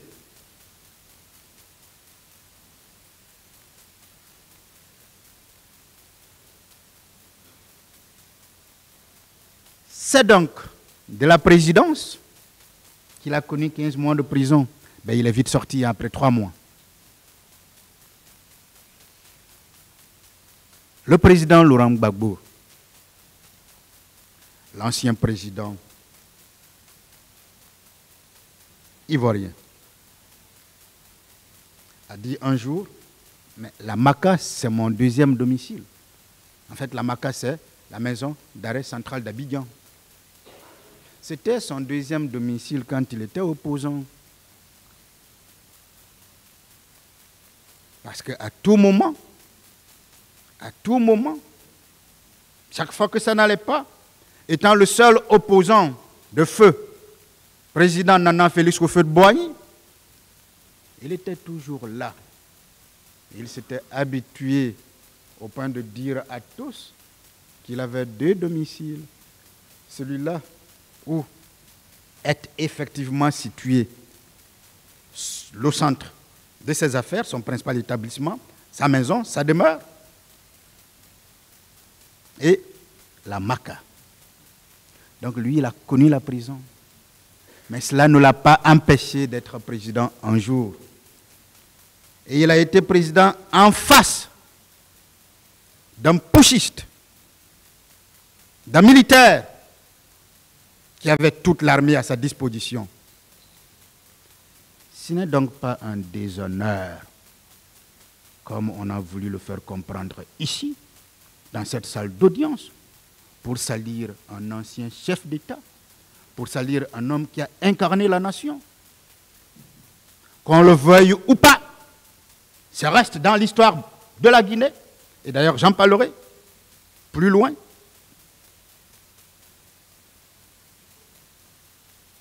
Ce n'est pas un déshonneur qu'il soit en prison, puisque je parlerai d'un homme responsable. Je vous dirai pourquoi il a accepté d'être là.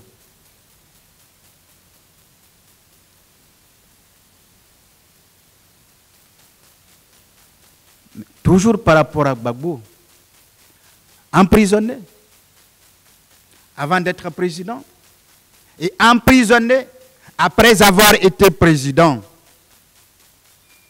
Et quand il est retourné et qu'il a abandonné le FPI, le Front populaire ivoirien, parce que des gens pensaient qu'il allait se mettre à discuter et qu'il a créé son parti, le parti panafricain. Vous avez vu le monde qui y est allé. Vous avez vu le monde qui le suit aujourd'hui. Il continue de rester l'homme le plus populaire de la Côte d'Ivoire. Ce n'est donc pas un déshonneur, Monsieur le Président, Messieurs les juges assesseurs, que de se voir détenu. Ça n'est une fierté quand on le fait pour les valeurs républicaines. Ce républicain qui est assis devant vous l'est dans l'âme. cet homme qui est assis devant vous, que vous jugez, est un homme bon, est un homme doux.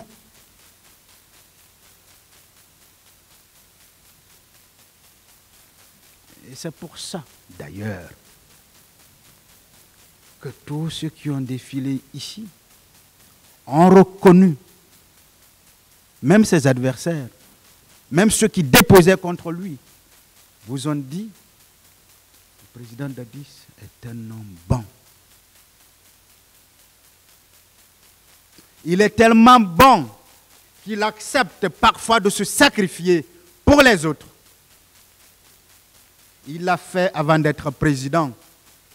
Pour ceux qui sont aujourd'hui aux commandes. Il l'a fait pour Biche, l'actuel chef d'état-major, général des armées, deux fois. Il l'a fait pour Idi Amin, dans leur amicale.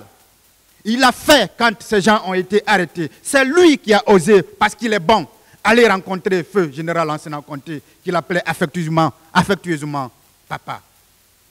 Il lui a dit, vous voulez les garder en prison, monsieur le président? Il n'y a aucun souci. Mettez-nous tous en prison. Et des personnes peuvent en témoigner.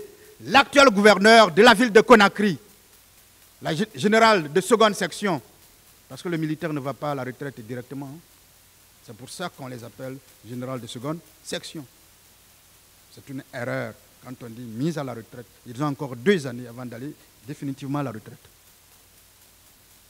Elle peut témoigner. C'est juste pour vous expliquer que cet homme bon ne peut pas être déshonoré ici. Je parlerai droit dans cette salle, rassurez-vous, que le parquet le sache. Mais je vais parler de lui. Et je vais parler de lui pendant très longtemps. C'est encore ça, la noblesse de votre travail. Voyez-vous, quand un avocat est empêché, il se lève et il sort. Mais vous, vous nous écoutez, c'est aussi un choix. Et, c'est d'ailleurs pour ça que je suis obligé de dire, Monsieur le juge président, Messieurs les juges assesseurs, c'est d'ailleurs pour ça que je dois m'adresser et que je m'adresse à vous en toute dignité. Je sais que si c'est dehors, ben je me permettrai de dire, mon cher ami, c'est important de savoir que l'homme qu'on veut présenter à vous est un autre homme. On ne peut pas salir son image. En tout cas, nous, nous n'accepterons pas. Je l'ai promis de rester à ce côté. J'ai encore l'intention de rester. J'ai l'intention de demeurer. Je sais que je resterai à côté sur l'autre volet. Parce que je ne l'ai pas conseillé que dans cette procédure. Je le conseille dans tous les aspects de sa vie, y compris toute sa famille. J'espère juste que dans deux mois, il va être chez lui à la maison et que cette affaire-là sera close à son égard. Et que toute l'humiliation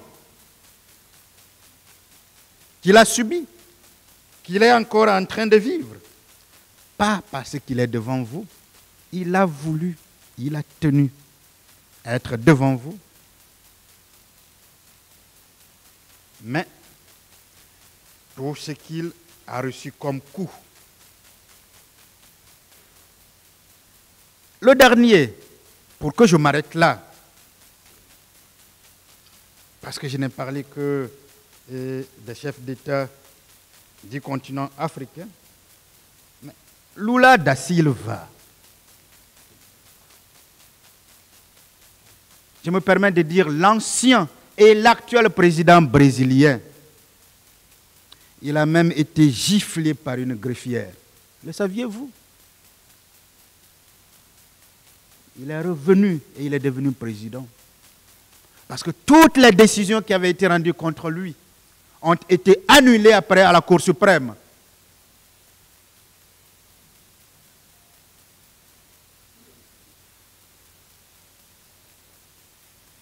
Être en détention, Monsieur le Président, rassurez-vous, ne considérez pas que parce que vous êtes en détention, c'est un déshonneur. Non.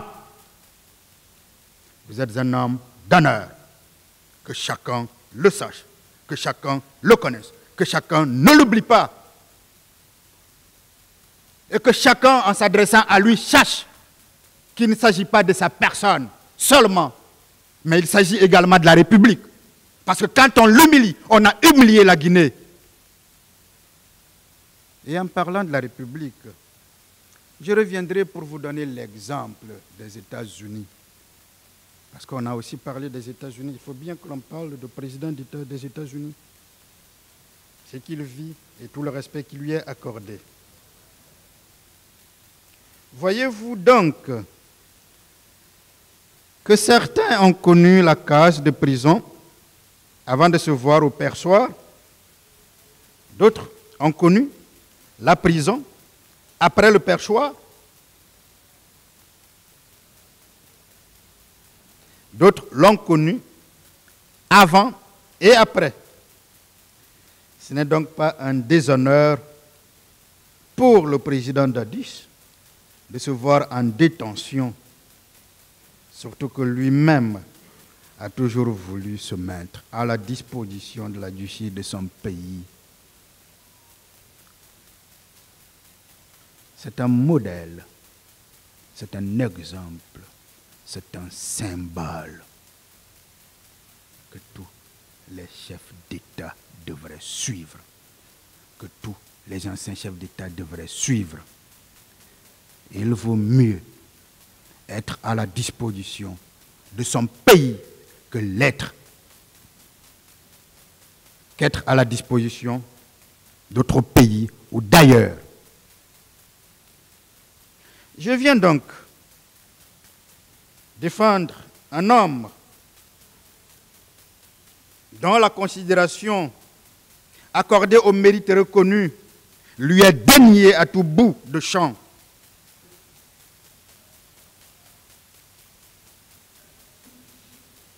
par les partis civils. Il faut reconnaître qu'à l'égard du président de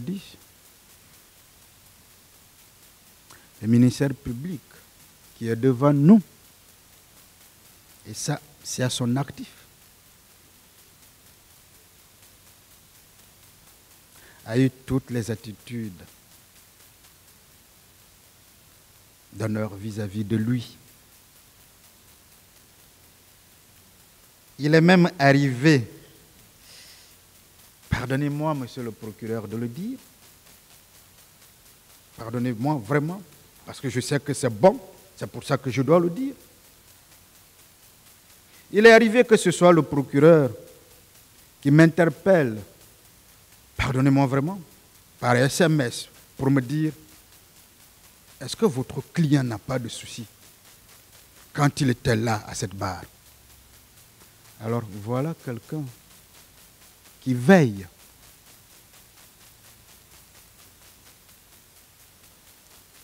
Il est arrivé qu'il s'inquiète. Il est arrivé qu'il me dise, si ça ne va pas, vous pouvez demander un renvoi. Vous l'avez fait. pour vous singulariser positivement. C'est le lieu de le dire. Tant que vous n'attaquez pas,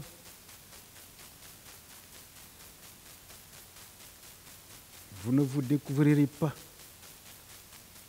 Vous ne vous exposerez pas à une riposte adverse. Et tant que vous faites du bien, L'une des vertus de chez nous, c'est bien la gratitude. Il faut qu'on vous en manifeste.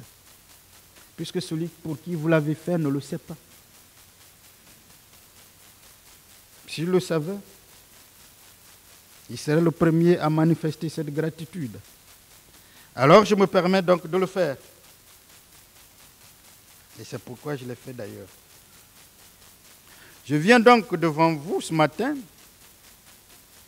Monsieur le juge président, Messieurs les juges assesseurs, pour défendre l'honneur d'un homme dont la réputation déjà souillée, dans la boue et dangereusement affectée.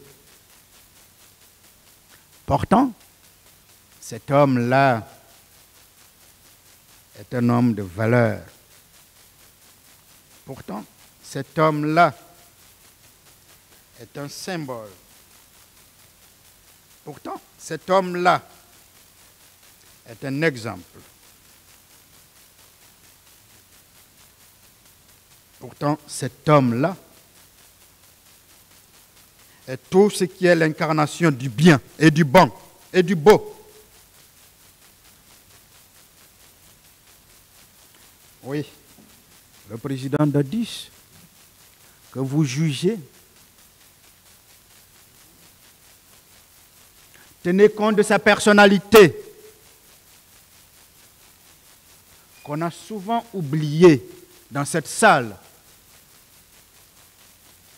Alors que ceux-là qu'on juge, on juge d'abord leur personnalité.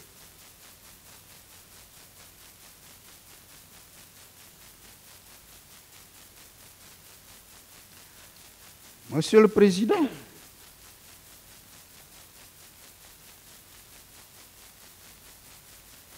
Messieurs les assesseurs,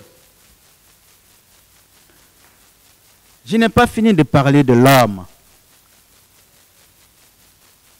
Parce que je ne finirai pas, même si je passerai toute une journée à parler de lui. Mais je vais parler du militaire.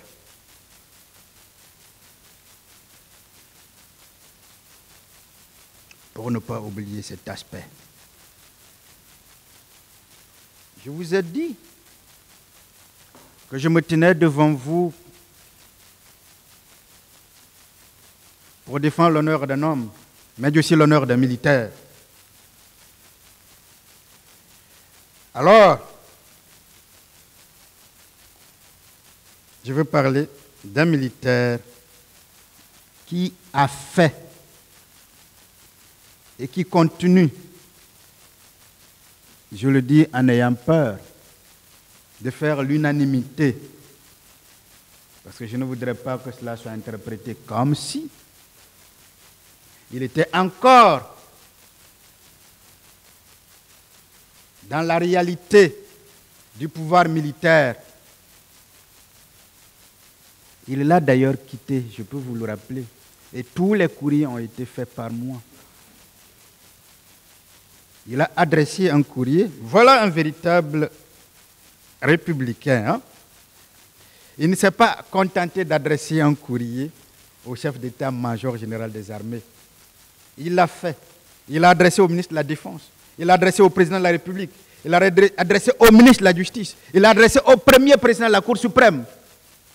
Il l'a adressé à tous pour leur dire, je prends congé de l'armée.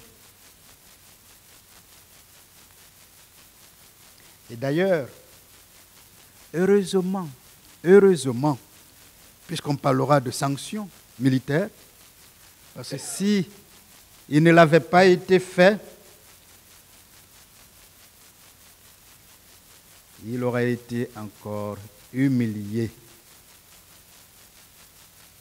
Humilié, non pas uniquement par certaines personnes hors de la sphère politique, hors de la sphère publique, mais humilié par une décision qui ferait tâche. Vous savez, Monsieur le Président, le 4 novembre 2023, parce que ici, presque tous les avocats de la partie civile en ont parlé pour encore humilier l'homme, le salir. Un commando a pris d'assaut la maison centrale pour enlever le président Moussa Dadis Kamara. Si ça n'avait pas été dit dans cette salle, j'en aurais pas parlé. J'en parle parce que je sais mieux que n'importe qui cela. Je sais, parce que encore dans mon lit, à 7 heures, quand sur les réseaux sociaux j'ai appris, j'ai appelé le procureur de la République avec qui j'ai discuté. J'ai appelé le procureur général avec qui j'ai discuté. J'ai appelé le garde des Sceaux qui m'a dit qu'il n'était pas en Guinée.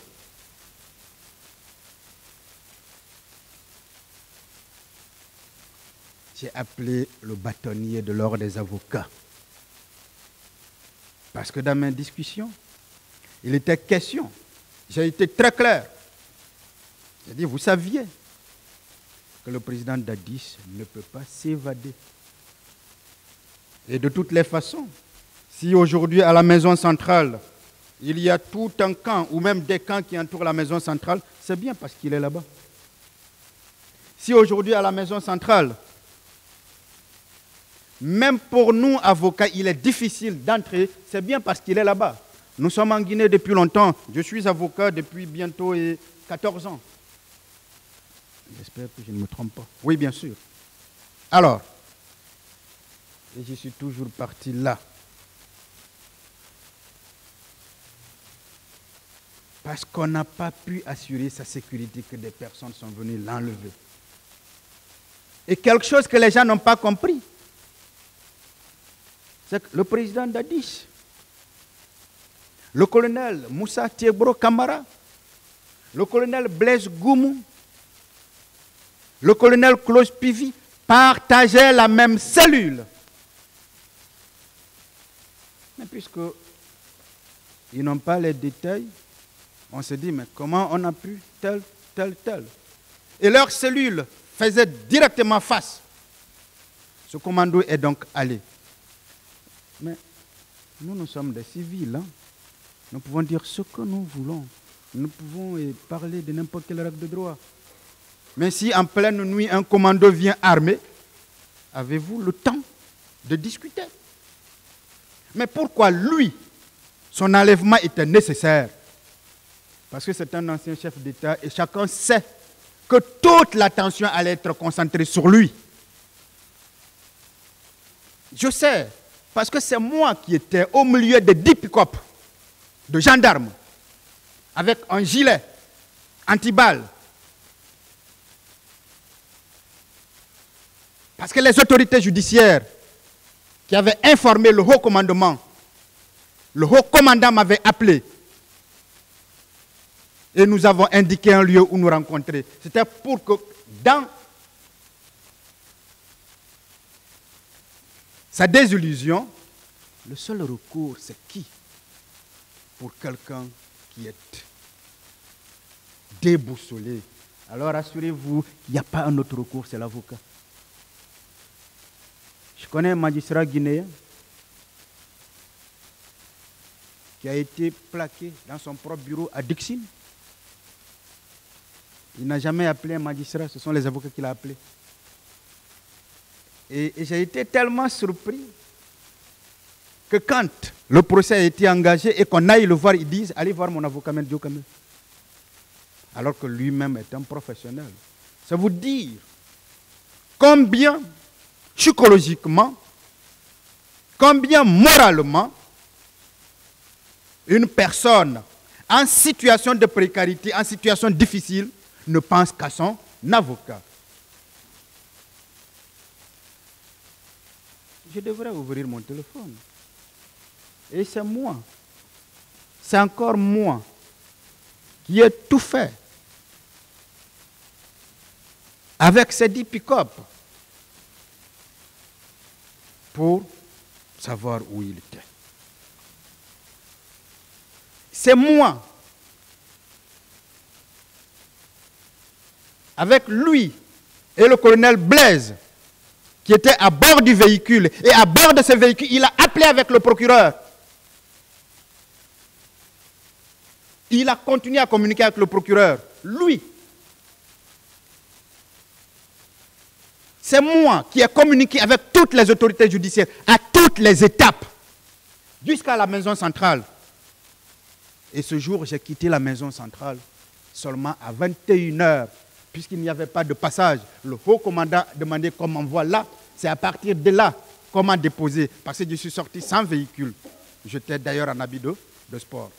Cet homme a encore été humilié à la maison centrale.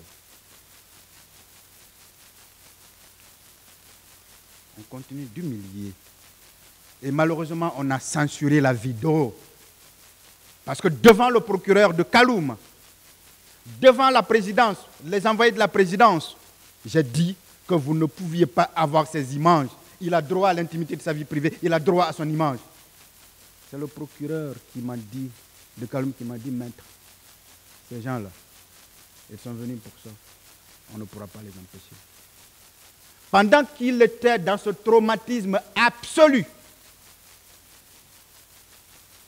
on a encore décidé de l'entendre. Il faut que les gens comprennent qu'on ne peut pas humilier un tel homme. Nous, nous restituons la vérité telle qu'elles sont, non pas telle qu'on voudrait qu'elles fussent. Parce que nous avons été là. Alors, que cela soit clair, que cela soit vraiment clair. On ne peut pas continuer à humilier un homme. Ce militaire de l'armée guinéenne a aussi un destin atypique. Ce militaire, dont l'itinéraire ressemble à un fabuleux parcours de flammes jumelles, tel le récit sans construction de la construction d'une vie, ce n'est pas de moi, monsieur le juge président, monsieur le juge assesseur, c'est de Léna Corgne. Il a écrit un document intéressant intitulé Un destin atypique, le fabuleux parcours de flammes jumelles. Alors là, je vous conseille de lire ça. Ce militaire de l'armée qui, après avoir fait ses épreuves en tant que soldat, sous-officier, officier, a été porté à la tête de son pays en 23 décembre 2008, après la mort de feu général Lansana Conté, qu'il appelait affectueusement papa.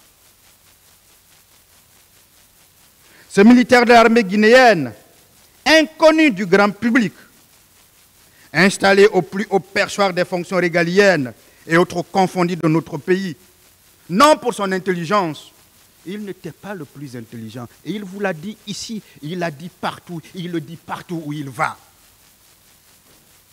Non pour sa force, il n'était pas le plus fort. Il vous l'a dit ici, il le dit partout où il va. Non pour sa beauté, il n'était pas le plus beau, il vous l'a dit, il le dit partout où il va. Non pour son éloquence, il n'était pas le plus éloquent. Non pour ses diplômes académiques et militaires. Parce qu'il n'était pas le plus diplômé, Monsieur le Président. Non pour son grade. Il était d'ailleurs capitaine devant des généraux, des colonels, devant des commandants.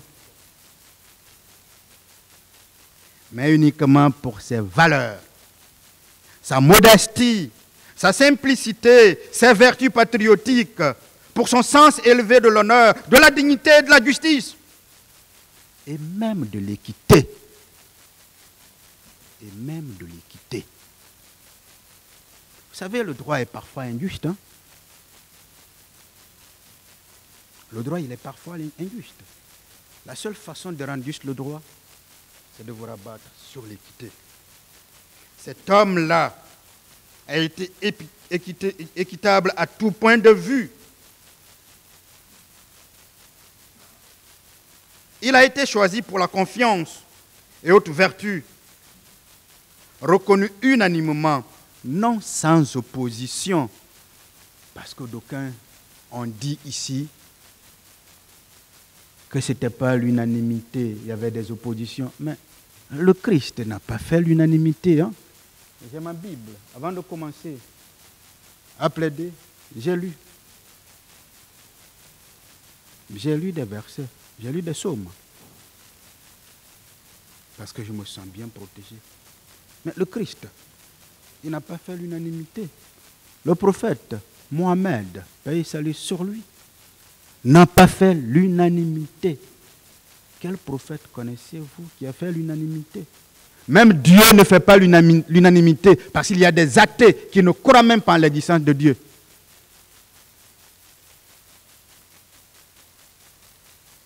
Et j'en connais qui, dans son isolement, a par erreur tenté d'ailleurs d'effrayer Dieu en disant, je suis malade, si je mourais et que je venais où vous êtes, si vous êtes vraiment là, vous verrez, vous aurez affaire à moi. Mais si Dieu ne peut pas faire l'unanimité, si le Christ n'a pas fait l'unanimité, l'unanimité, si le prophète Mohamed n'a pas fait l'unanimité, Monsieur le Président, bon Dieu, pourquoi le président Dadis ferait l'unanimité? Lui qui est humain, lui qui est imparfait, lui qui a plein de défauts.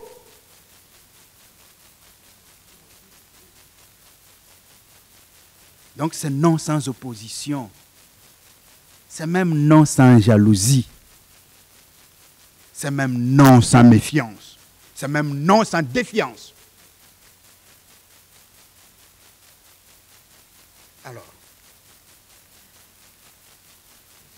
Voilà le militaire.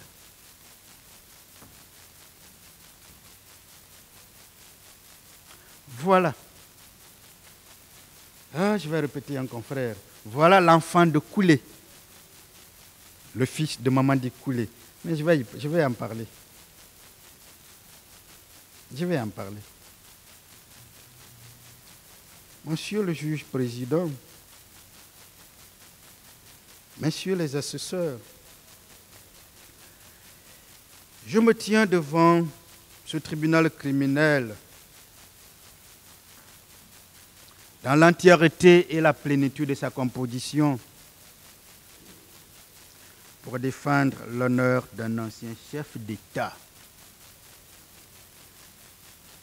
J'ai défendu l'honneur d'un homme. J'ai défendu l'honneur d'un militaire. Il faut que je défende l'honneur d'un ancien chef d'État, d'un ancien président, puisqu'il l'a été. Un ancien chef d'État incompris, mais incompris. Malheureusement, qui n'a pas eu le temps de se faire comprendre.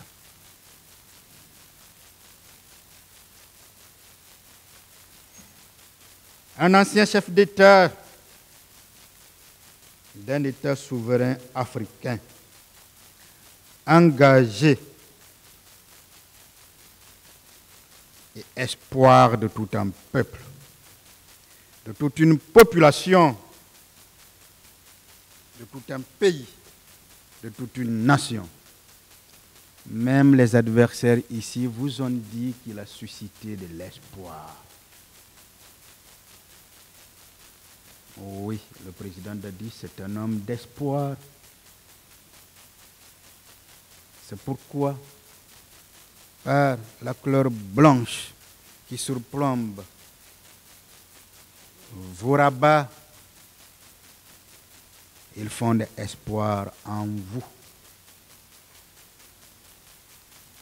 Et il est convaincu que cet espoir-là lui permettra de voir le bout des tunnels.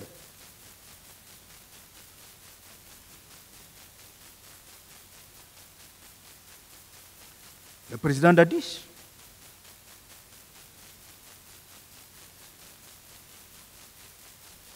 est un éveilleur des consciences. Il l'a fait Parce qu'il a, il forçait l'admiration. Un des actuels avocats généraux m'a dit qu'il était à la Sorbonne. Je ne parle pas de la Sorbonne Université. La Sorbonne, c'est un lieu au plateau, à Abidjan, où il a été surpris de voir des gens parler de moi. Où il a été surpris de voir des gens avec des écrans géants suivre l'homme. Parce qu'il éveillait les consciences. Il est juste venu à un moment où nous n'étions pas ce que nous sommes aujourd'hui. Si c'était maintenant là, comme vous voyez les pays de l'AES, les choses ne se seraient pas passées comme on le fait. Mais c'est une autre histoire et je vais en parler devant. Cet éveilleur des consciences était suivi et admiré au-delà des frontières de notre pays, au-delà des frontières de notre Afrique, par bon nombre d'Africains épris de liberté et fatigués du joug qui les soumettait. Ce joug-là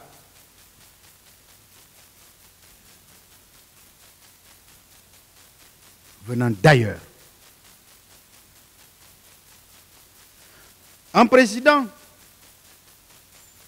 d'un État souverain africain déterminé à combattre les fléaux qui gangrènent son pays et qui freinent son développement, et résolu à combattre les narcotrafiquants, leurs complices, où qu'ils se trouvent, et quel que soit le niveau de leur position dans la sphère étatique. Il est en train de vivre aujourd'hui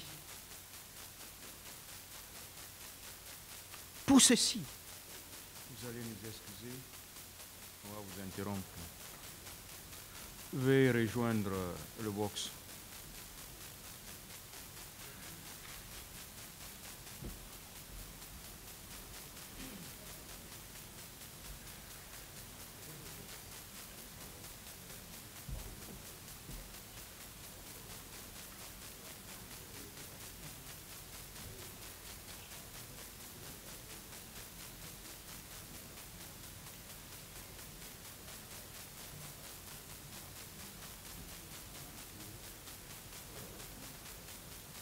L'audience est suspendue. Elle, revient- elle reprendra dans cinq minutes.